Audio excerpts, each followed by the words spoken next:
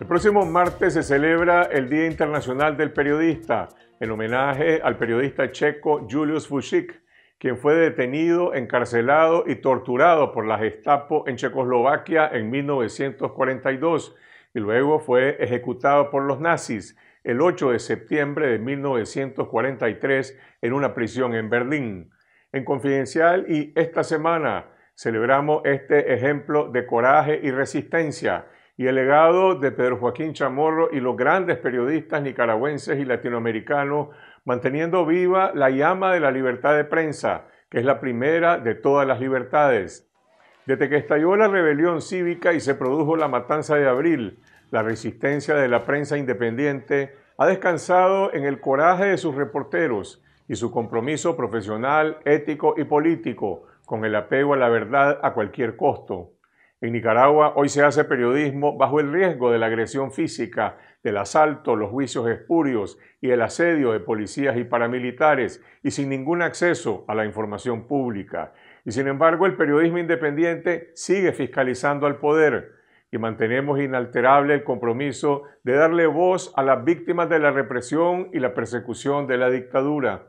Nunca hemos aceptado la censura ni la autocensura. Y bajo condiciones de asedio y persecución, el periodismo está ganando la batalla por la verdad frente a la maquinaria de propaganda y desinformación de los medios oficiales. Las historias, los testimonios, las investigaciones de la prensa independiente sobre la corrupción del poder y las violaciones a los derechos humanos y ahora sobre el manejo negligente de la crisis sanitaria son mil veces más convincentes que el inverosímil monólogo diario de la vicepresidenta Rosario Murillo y su discurso de odio para justificar la violencia represiva. Pero la resistencia de la prensa no sería posible sin el apoyo y la confianza de las audiencias a las que debemos nuestra credibilidad como periodistas profesionales. En abril de 2018 en Nicaragua se hermanó la libertad de expresión de los ciudadanos con la libertad de prensa de los periodistas para difundir noticias e información confiable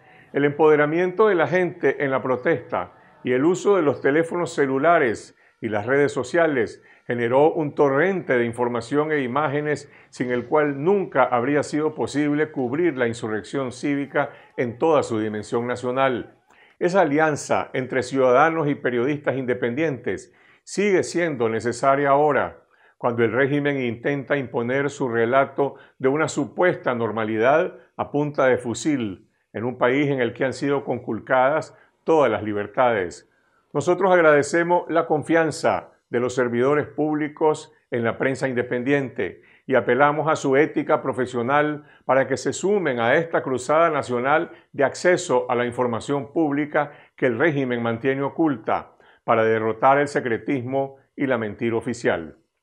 En la víspera del Día Internacional del Periodista, seguimos demandando el cese de la ocupación policial de las redacciones de Confidencial y 100% Noticias, que se mantiene desde hace más de 20 meses.